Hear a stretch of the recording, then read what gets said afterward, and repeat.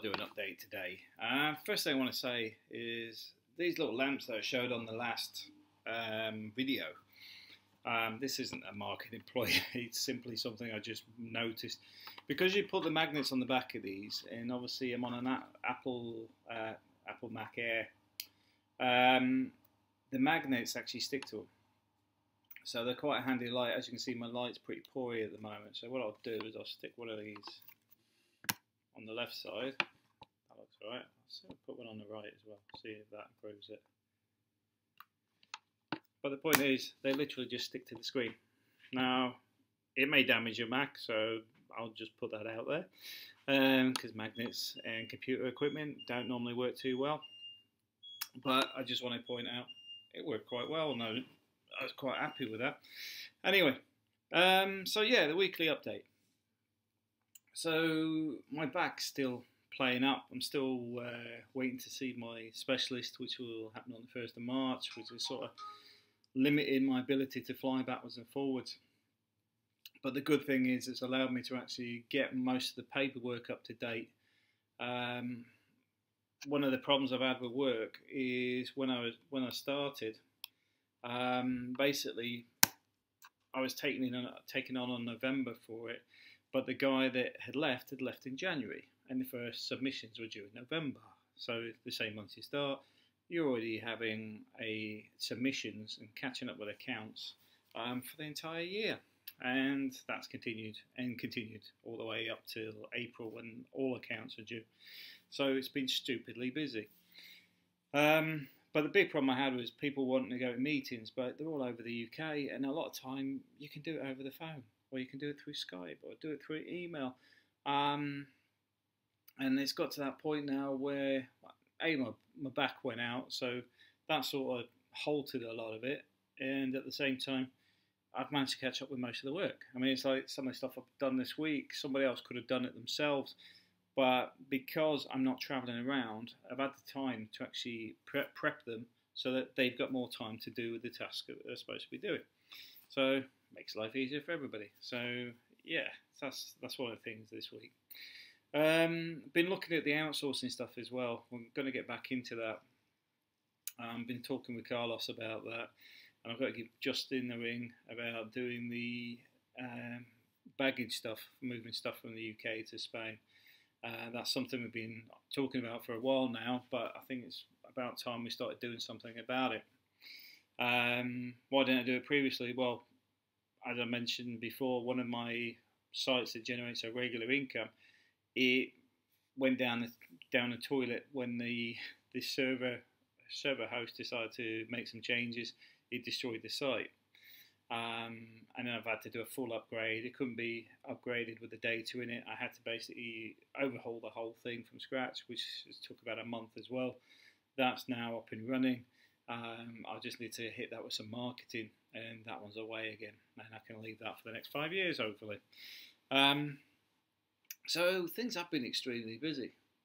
Um, the problems in the UK relating to the inheritance side.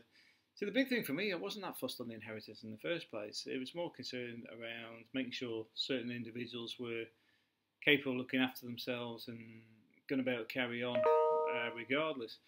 But certain things have happened to the point where I've just sort of went, you know what, leave it to the lawyer to do.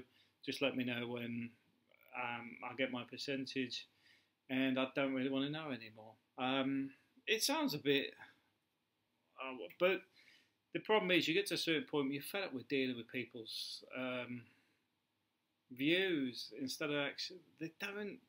It's very peculiar. It brings out the worst in people, but at the same time, some of these individuals have always been like it.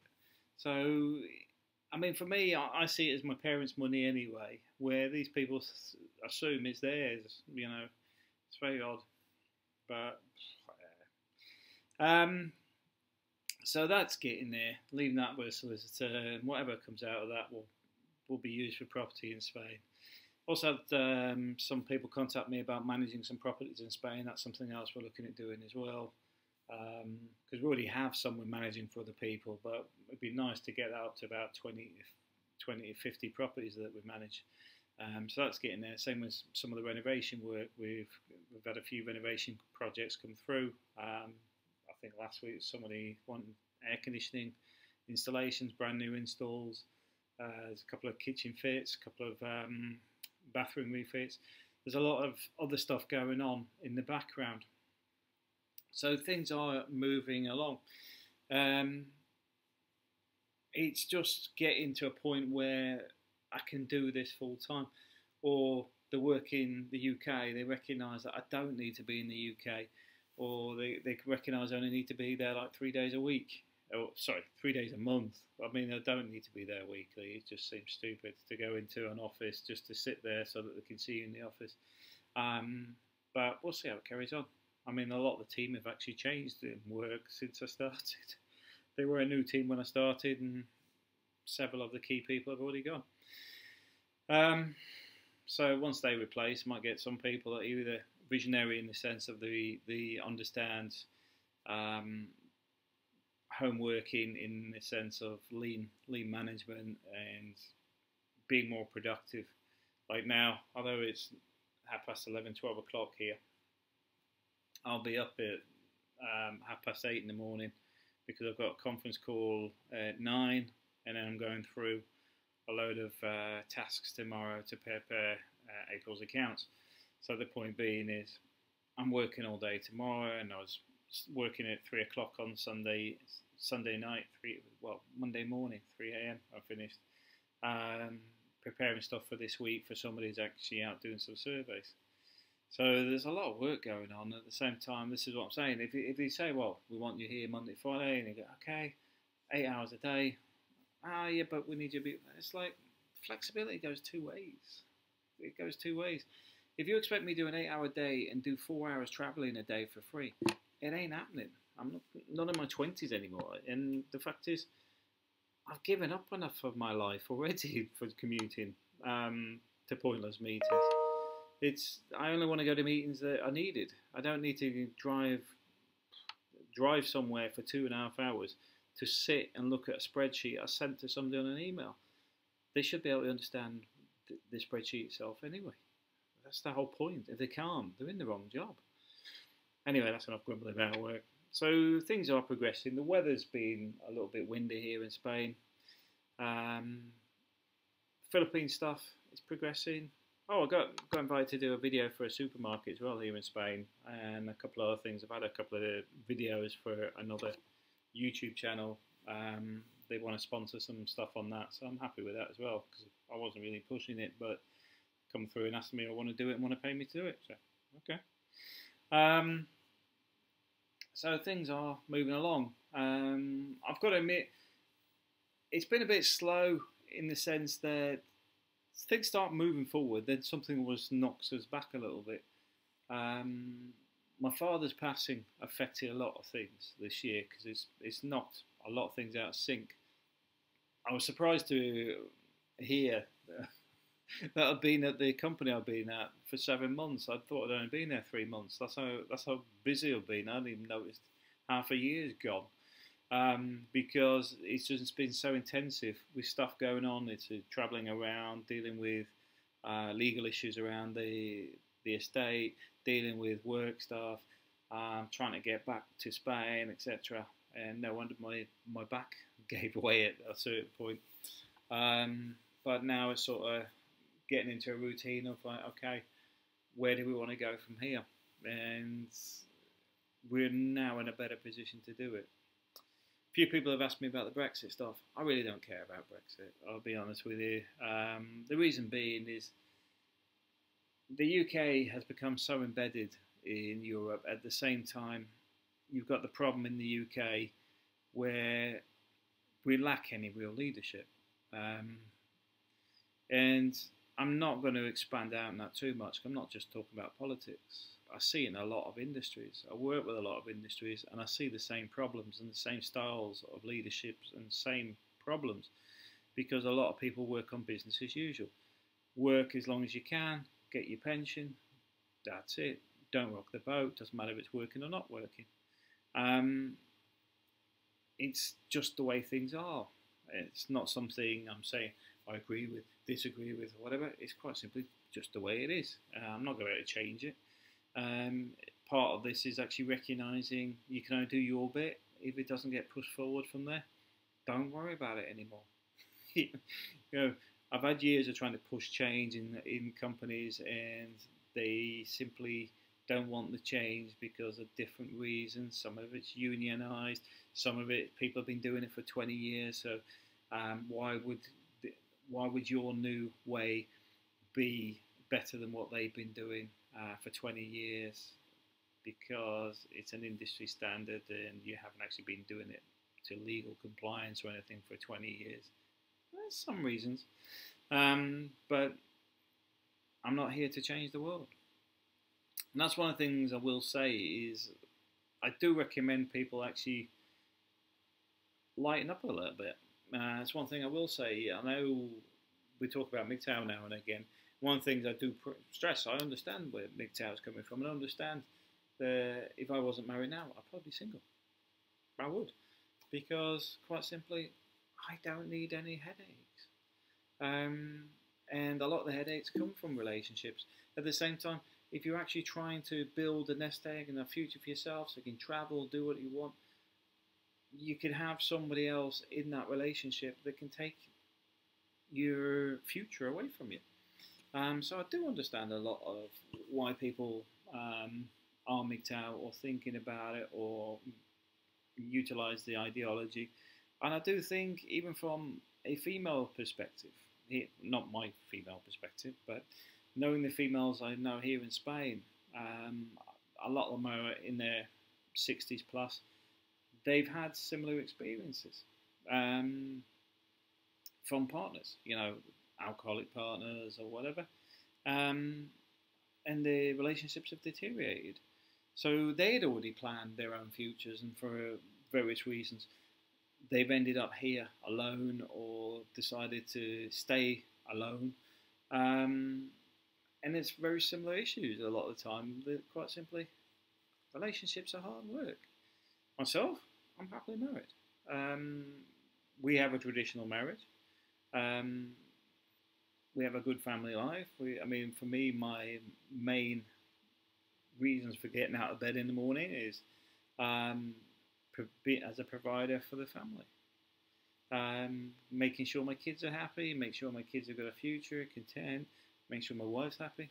And beyond that, I'm content most of the time anyway. Um, so I, I do want to stress that is life's about enjoying it. And if you're not enjoying it, you're doing something wrong. Uh, there's been a few people asking about the moving over to Spain and when's the right time to do it. The answer to there is no right time or wrong time. The wrong time is never doing it the right time is when you feel you're right to do it. Whether you move over for three months, try it, see if you like it, and go back, or whether you sell up, move here, and try to make a life of it, knowing full well it may all go wrong. Because the hard bit is when you sit there in the same job, right up to retirement, and think, if I'd done that 20 years ago or whatever. Myself, I'm not in that situation because it was uh, 2007 I decided to make the change. Now, my regrets was, quite simply, I should have done it in the 90s. Um, I should have made the change then, but would I have changed anything? No, because that's uh, where my daughter in the UK come from. Um, she she's doing well now. She was actually in Benidorm on holiday last week.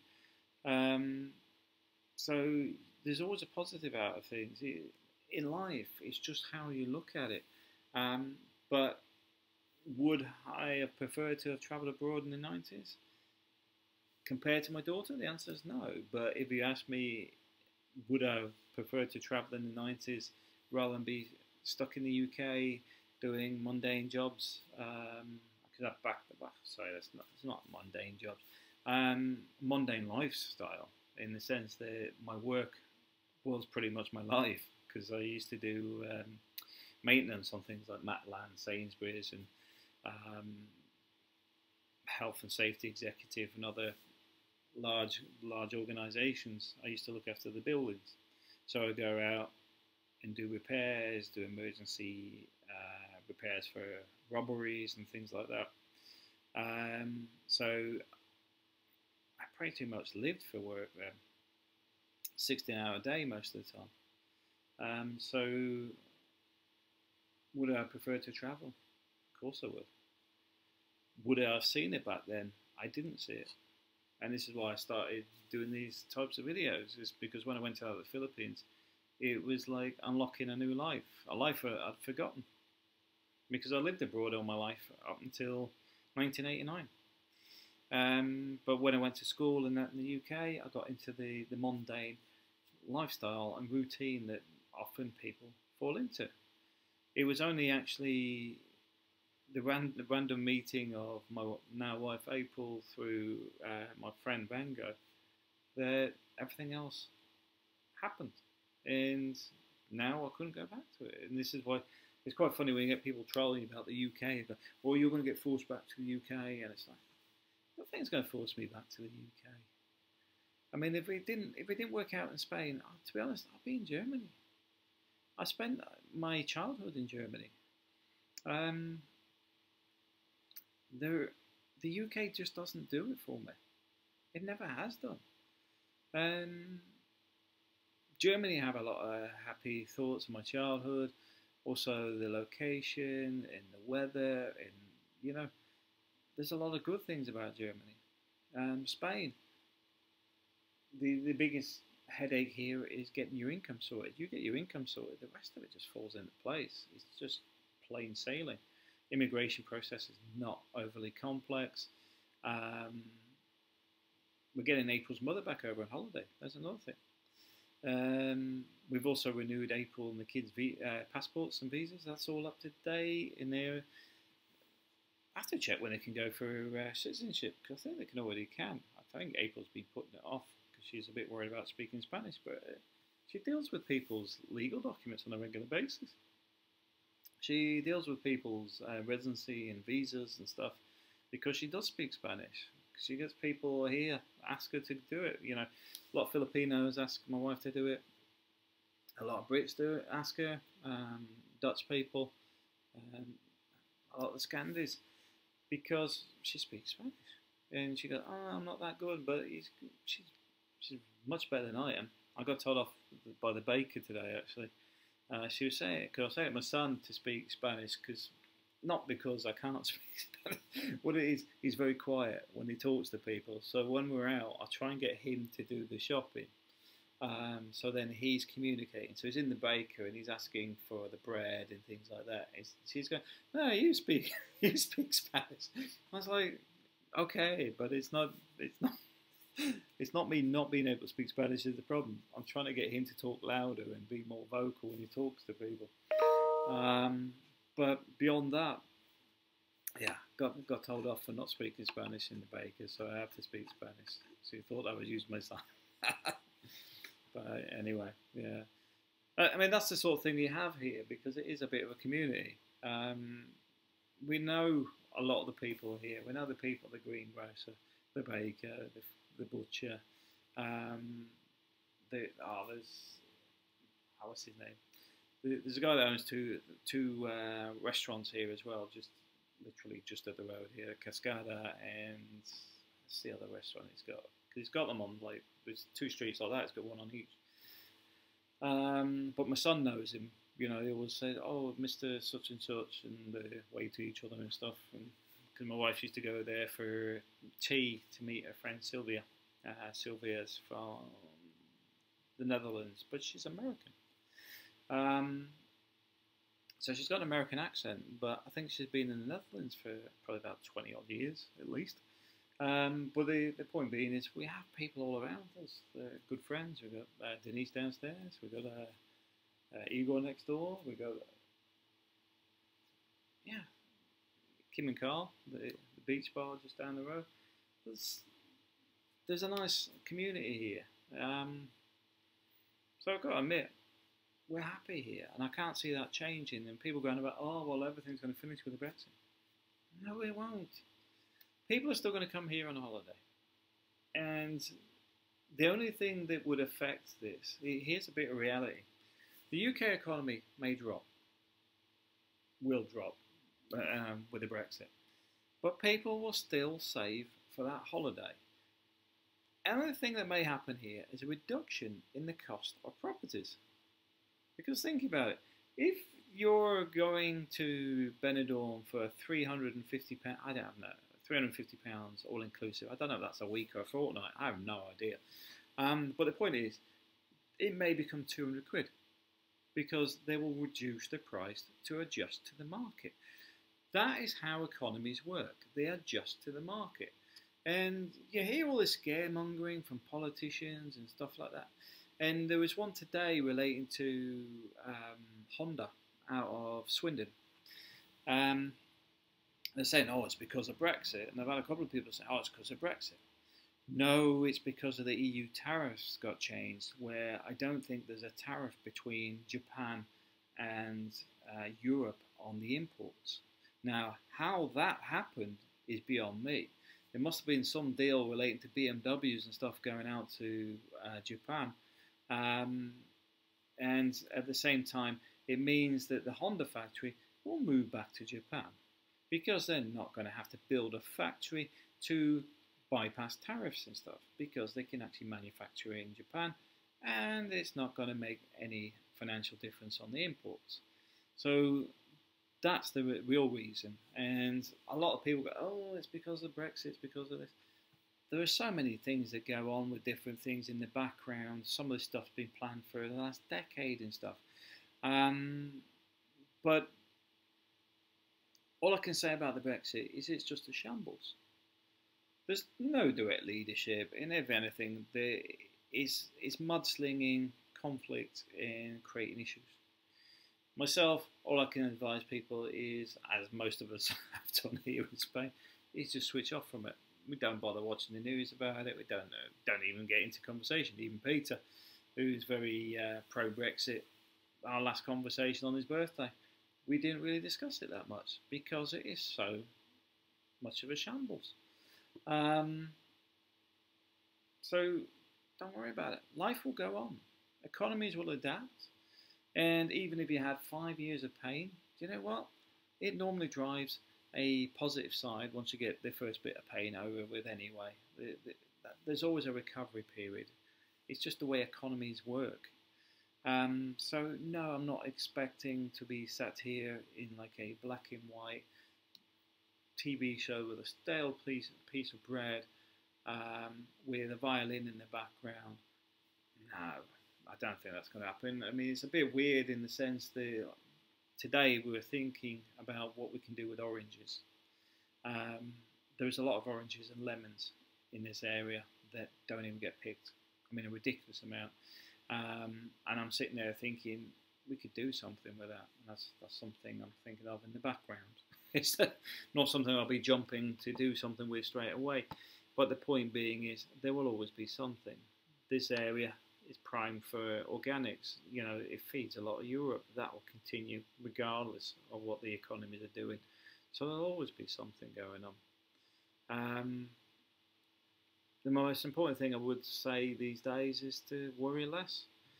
If you've got issues around things that are causing problems in life, get rid of them. It sounds easy. I know it sounds very, very easy, but like the stuff dealing with my siblings, just leave it with a lawyer. And I told her I don't really want to know. I just want my my percentage, and I don't really want to engage in the, the issues anymore. I've done my bit. I've tried to help. I've tried to uh, get people in their position where I would have left my inheritance in there so there could be, it could just carry on. But to hell with that, with the way some people are. Um, so yeah, things are getting there. Life's getting on. And these lamps look pretty good. Um, so yeah, you can see the light works quite well and they're a cheap option. Anyway, I'll leave you guys to it, but that's pretty much me, and I know I've talked a fair bit. I can't see without my glasses, but 20 odd minutes as usual. Um, but yeah, life carries on. Um, that's been people ranting on about, or you know, expecting my life to be in financial ruin and stuff. I I have to be very honest here. Financially, I do okay. Um, I have a set of skills which is very in demand in the UK, um, simply because we seem to be losing a lot of people in my industry on a regular basis, and this was something you've got to invest a lot of time in to understand. Um, that's part of my frustration is that I have a specific skill sets and get brought into companies to bring them up to this century. And a lot of people just don't understand it, can't see the value in it because they don't understand it. And you can get it so far, and often you can get everything up and running, and they may not carry on with it simply because they don't really understand it. Um, but it's in demand and it's an industry standard and the reason you do it is from a financial point of view from a compliance point of view prosecution point of view avoiding prosecution point of view and bringing the standard of a business up generally because uh, you can actually set a lot of stuff up from it. But some people often just see it as something they need to do but not really understand why they need to do it. Um, so financially, I do okay. Um, what sort of money do you want to earn on the books? On the books for what I do, you're, you're talking the minimum of about forty-eight thousand pounds a year. Off the books, in the sense of doing it as a contractor, minimum of about 80, 90,000 up to maybe about 120,000 pounds a year, 120,000 pounds a year. So as a contractor, there is always work there. Um, so I hope that answers some people's questions, especially when they're trolling. Just be aware that I don't need to work a full year. I never have done. Even back in the 90s, I never had to work a full year in my life because of the stuff I do. Um, but that is part and parcel of getting to a position where you can do this sort of stuff, is recognizing where there's skill gaps that are paying well. Um, I do a lot of stuff on Excel, and I know some of you guys, I've seen one of you guys do a video today on the Excel. Um, Excel is one of those things that is used in so many ways, and in many cases, a lot of businesses don't know how to use it properly. Um, so there's always opportunities to expand and develop their businesses.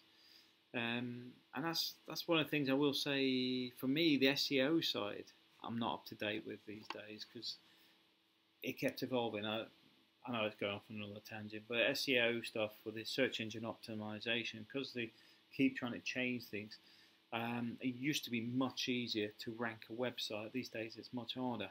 Um, and that's one of the problems I've got with the, like I said, that website I've just spent ages fixing.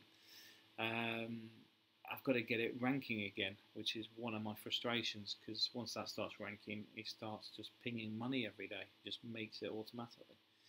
Um, but can't learn everything at once. And as I said in the other video before, never too old to learn something new. And often it's to your advantage. One of the things I do want to get into here though is photography. I want to do more photography and doing more with the videos. But I've actually got a load of tutorials. I need to get all these accounts out for April. Um, and then once that's done, I'm going to sit and start going through some tutorials and learning a bit more on improve my video stuff and my photography stuff. Because um, I don't mind putting the time in and learning it. It's just having the time and, and learning it. That's one of the reasons I went to the Philippines in the first place. Was um, well, sorry, it's one of the things I realised when I went to the Philippines the first time. Is it gave you time to think and when you have time to think, you start seeing other things. It's like when people sit write an ebook, something they may never have had the time or inkling to do previously, but suddenly it generates $100 a month or $50,000 a year. You don't know, because the point is, you don't know till you do it. And I know the ebook uh, environment is quite a busy one these days, but it doesn't mean that there isn't a space for your book because a lot of books are crap. There's a lot of good books as well. Point being, it all depends on the author and subject. But anyway, that's enough for me. talking too much today. Uh, take it easy. Have a great week. Thanks for watching.